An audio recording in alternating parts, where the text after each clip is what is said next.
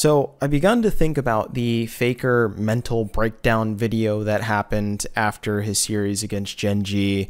Or if you don't know, he was caught from a fan camera, like in the in the audience, uh, showing him banging his head against the wall. Nothing like crazy violent, but certainly something of like concern or whatever. And his teammates had to pull him off, right?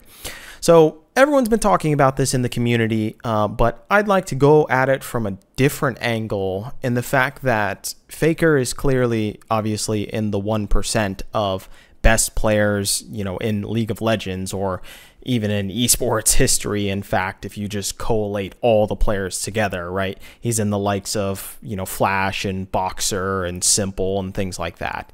But there's the idea of getting to the 1% is actually incredibly difficult because going from 99 to 100% is harder than going from 0% to 90%, right? If we're talking about like a progression, right, of like, say, you know, level 0 to level 90 versus level 90 to level 99 or whatever, right? Like maybe nobody could get level 100, right? But you could, maybe a couple people can get to level 99, and that's like the faker and the flashes and boxers and stuff. And I know when, like, for instance, as an analogy, like World of Warcraft, getting to level 60 takes a ton of experience, whereas getting to level, say, 1 through 40 takes like the same amount of experience as it does to go from level 59 to level 60, right? I think that's like some somewhat equivalent. Might might have my numbers a little bit off, but there's a crazy pursuit for some of these professional athletes to even get an extra 1% or an extra 2%, right, when it comes to their physical game. And I'd like to draw our attention over to something, you know, that's more traditional, which is basketball. So if you don't know the story of Steph Curry, essentially what happened when he was going through high school and whatnot is he was very good. He was in- incredibly good, obviously, but he wasn't great, right? At that moment, he wasn't great. And he kept kind of missing his shots and everything. And so his father, who was a former NBA player, said, Son, we have to essentially redo your entire shot. So what they did was they said, All right, you aren't allowed to shoot how you normally shot before. I think it was something like he was kind of shooting from his hip. So he would like bring the ball up from his hip and then uh, release it. Versus, you know, nowadays, if you look at his shot, it's like he goes from up above instead. And so he had to work throughout like his whole summer or something, or like two summers, to completely reset his shot. And when he did that, he completely sucked. He was terrible at shooting. You know, obviously, famously, Steph Curry is famous for shooting three pointers, right? Well, he sucked ass at it. But the reason why he did that was because he had to go back to reset himself in order to get up to that, you know, call it 85%. Maybe he was at an 80%, but in order to get that extra 5% to become better, to get to the elite levels, he had to reset his entire fucking game. And I I think normal people can't really relate to something like that. You know, it's kind of like uh, me myself for instance i'm very good at typing. I can type 130 words per minute but i don't use the the home row right where you have your uh, your hands on a s d f g and you know whatever the other letters are. Like but i can still type at 130 words per minute. Uh, but that means I'll never be in the 1% fastest typers because, you know, I use like uh, only these three fingers, right? I don't use all of my fingers and my thumbs, uh, but I don't use my pinkies. And this is akin to someone like, for instance, let's bring it back over to League of Legends with Mata. Mata it, it's famous, and I don't know if this is legend or not, but it's kind of a cool story, anyways. Is that Mata, the great old school support for KT Rolster, he had uh, what he did was he learned all five roles. He got challenger in all five roles in Korean solo queue, which is fucking bonkers. Now, I don't know if that's necessarily true, but it's a cool story. But it just goes to show that what he thought to improve his game was to try and understand every single different role. Even though he's a support main, you know, he decided, okay, I'm going to learn maybe ADC. And it's like, okay, yeah, that's probably natural for support to at least want to kind of learn ADC. But then he learned, you know, mid lane, he learned jungle, he learned top lane. Like, when you look at that from an outsider, you just think, like, what? Why would you do that? There's only a little bit of amount uh, that you could learn in order to improve your game as a support. So, like, why would you spend all that time doing that? Well, that's to get those extra percentages of being really fucking good at League of Legends. So, the title for this video, unless I change it, is The Gap Between Expert and Takumi. So, if you don't know what Takumi is, in Japanese, it's essentially an expert, but it's like grandmaster level, right? It's a master craftsman. And of course, all of you that are familiar with anime are going to be thinking of Initial D at this moment. Yes, that's actually where uh, Takumi's name, the uh, protagonist for Initial D, comes from. Is his name means, you know, fucking maestro. It means master craftsman because he's very good at driving cars. But the thing about Takumi was he literally breathed and slept racing, right? He was thinking about racing constantly, even when he was doing tofu deliveries and things like that. But Takumi in Japan is actually a real thing. There are positions in Japan to where you could be a Takumi of your particular craft. Now, for instance, let's draw parallels to the car world. At Nissan, at the Nissan factory in Japan, they have what are called Takumi like craftsmen uh, who build the engines in the GTR, right? The well, it's not the Skyline anymore, but it's the R35 GTR, right? The most badass Nissan that you can get. Well, what they do is they have a Takumi that is assigned to build the engine for that particular GTR that's rolling off of the line. And what he does is he assembles the entire engine, like basically by himself. And then he signs a plaque at the very front of the engine saying that it was built by him. So he literally puts his name on the engine. And it's kind of cool, but it just shows the craftsmanship that goes into something of like a Japanese product. Now, also, there are like, uh, you know, Jap- Japan is known for people that are like put within an industry and they just keep going for years and years. There are like special master craftsmen or takumi for bows or yumi as now, yeah, you're thinking of the shitty fucking champion. I actually don't know why they called Yuumi uh, in League of Legends like Yuumi, the name, because Yumi uh, in Japanese means bow. So there's a family that uh, makes longbows in Japan, and his family has been doing it for I think it's over like 500 years. which is fucking insane to think about that a family lineage can go on since way back in you know the samurai days of like Nobunaga and shit and create bows. Well, this guy's been doing it and his father had taught his father and his father had taught his father for as long as time, right? So these people are willing to go to lengths to just get that fucking extra 1%. And I don't think a lot of Westerners can understand that aspect. Now, I harken back to League of Legends once again with the example of LS. LS I believe it was at least said in a Summoning Insight episode.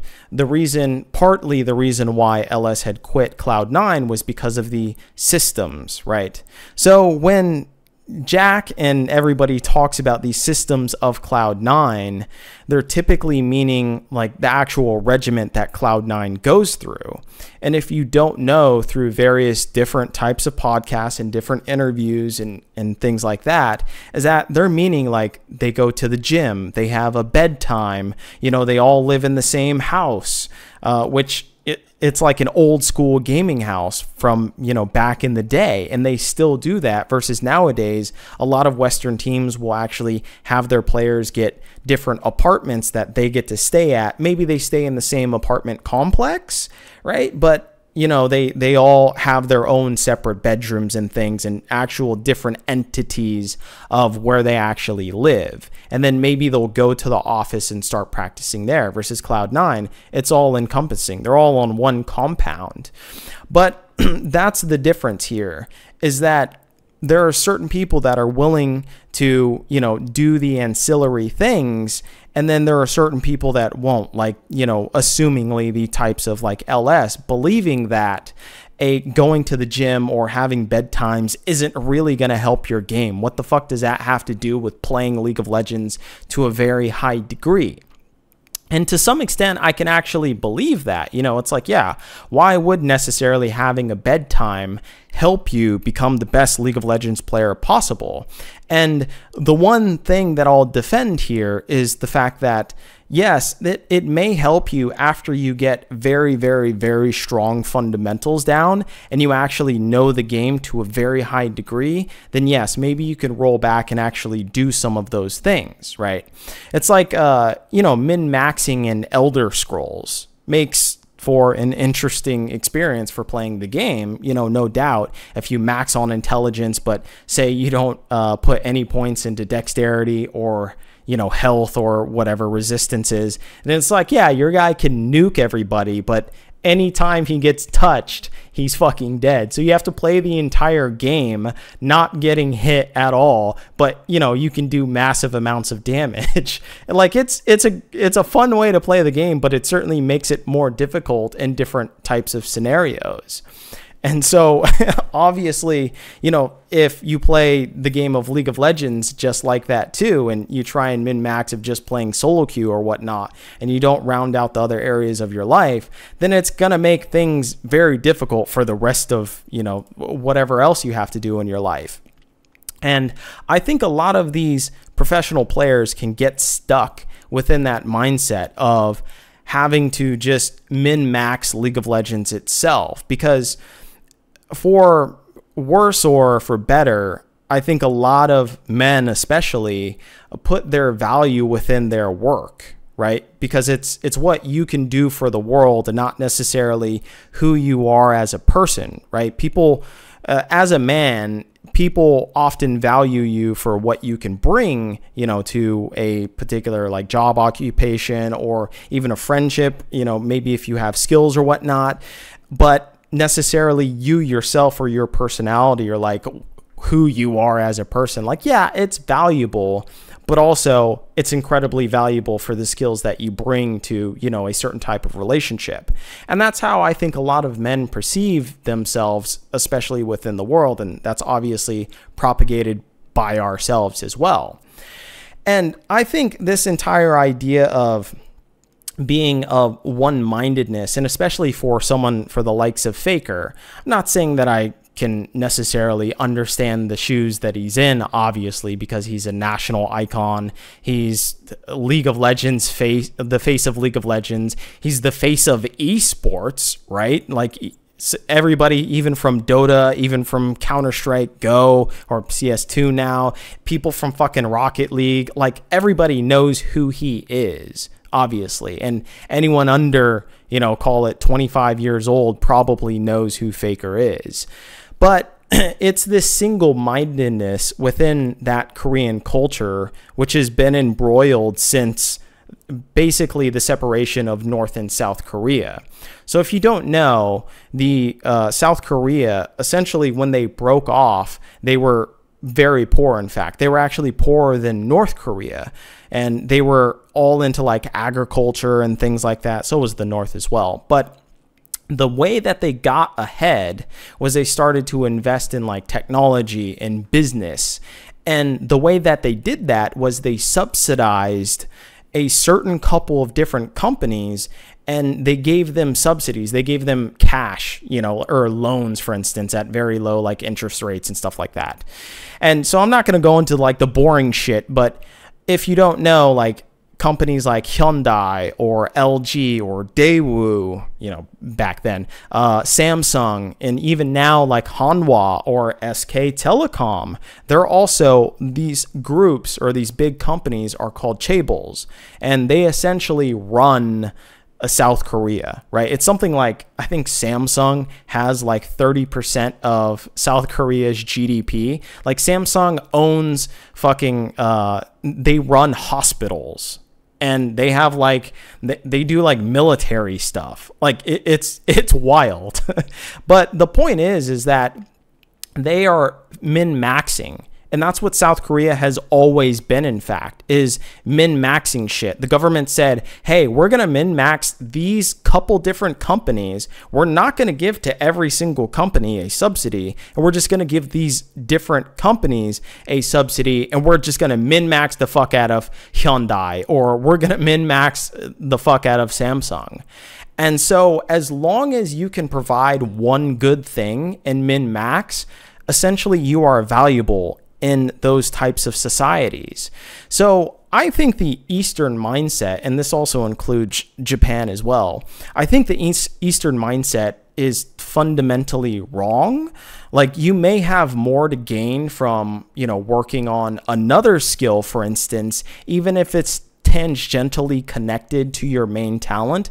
Now, yeah, that's not going to help that particular company like Hyundai or Samsung if you're, you know, more well-rounded necessarily.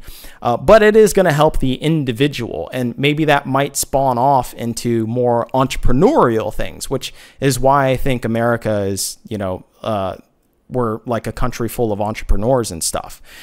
And I think you may have more to gain from working on another skill because of this, call it 1% gap. For instance, if your social skills might be at like level 40, but your mechanics in League of Legends are at like a level 92, I think it'd be much easier to level up your social skills getting to like, you know, level 80 or something like that, than it and it may actually actually help your overall game as far as even playing the game League of Legends, you know, going from level 92 to level 94 in mechanics, right? Because now you're able to talk to your teammates and discuss things and actually get your point across a little bit more eloquently than you would have been able to. And instead, you know, you would have just been a little bit slightly better at mechanics. So I think this whole min max type situation can actually snowball into something that isn't necessarily helping you at the end of the day. And Bjergsen is one of those people that actually realized this. So there's actually a video that I looked up back in the day. It was like in 2017 or 2018. He did like a TSM documentary, I want to say. And he realized and he said that he was like trying to play, you know, two extra hours of solo queue, even though his teammates or something were trying to get him to go out and go out to have dinner or something like that. And he'd say, nah, nah, nah, I'm, I'm just going to chill and I'm going to play solo queue and I'm going to, I'm going to start grinding. I got to, you know, play a couple different games on Syndra, even though he's played multiple games on Syndra. And he started to realize that it actually wasn't worth it. Like in order to round out him as a person and as a player too, he actually had to start spending time with his teammates to start developing the social environment with his teammates and also to develop his other skills, you know, his social skills. And then he started to read books as well too, because, you know, now famously at least everyone knows that Bjergsen is very into books. And that actually started to help him get out of the mindset of, you know, being always within the universe of League of Legends and having his entire, I guess, identity tied to League of Legends and being able to think outside of the box of League of Legends to then bring into the box of League of Legends. And I don't think a lot of players actually realize that. Now, when you're at the level of Faker, the problem is is that you're constantly changing who the 1% actually is. Because when you're climbing up, and this is just like within economics, for instance, right? If you're making $100,000, suddenly you get a new group of friends and maybe all your friends are making $150,000. Or maybe, you know, in your employment, obviously, if you're making $100,000, you're talking to maybe other board members on the company board, and those people are making $200,000. Or maybe you're talking to the CEO and he's making $4 million a year, right? And so, the area in which you exist is always changing and you're always not maybe the 1% because of the group that you exist in. And so it's very easy to get lost in the sauce of are you actually the 1% and the best players uh, you know within the world or are you not? And Faker right now is in that 1%, but that group of people is Chovy you know, it's BDD, it's Showmaker, it's Knight, right? So all those players exist there. So it may not actually feel like he's in the 1%, right? So I'll end with a story actually that's pretty appropriate for the idea of Takumi, Faker, and that whole idea of being in the 1% and being the best and trying to stay the best and it's from Faker's actual nickname, which is the Unkillable Demon King. So I don't know if this was intentional or not, um, but in the Korean aspect, I actually don't really know what his name means. But in the Japanese aspect, the Unkillable Demon King actually is from Japan. It was actually the shogun Nobunaga. And so Nobunaga was very famous in Japan because he ended up being essentially a tyrant shogun. And so what he did was he ended up killing a temple of priests. And so the whole of Japan got really pissed at him. And so a lot of his inner sanctum people started to hate him. And so one day he was caught without his entire army. He had like a small regiment right? And he ended up getting surrounded by his enemies. Uh, often, you know, a lot of them were like traitors and things. And he locked himself within a type of house or whatnot. It, it might have been a temple or something. And he told his guy to light it on fire, like his second in command. He told it told him to light it on fire. And then he committed seppuku, and so Nobunaga became the unkillable demon king because no one actually killed Nobunaga. In fact, he committed seppuku and he also burned himself alive with his entire family, I believe.